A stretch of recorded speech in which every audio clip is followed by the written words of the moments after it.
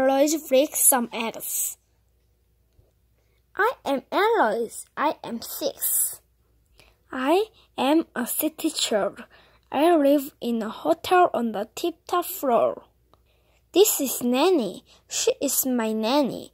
My mother is mostly away. Eloise, says Nanny, it is time for your lesson.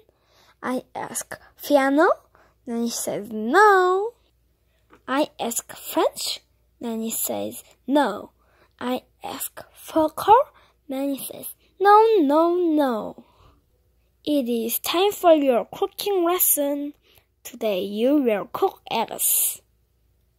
I do not like to cook, I say. You like to break things, Nanny says. You break eggs to cook them, I say. Let's go, go, go! We take the elevator to the kitchen. I press every button.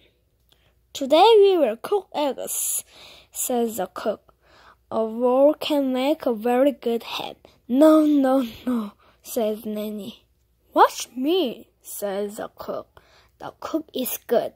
Now you try, he said. I am very good.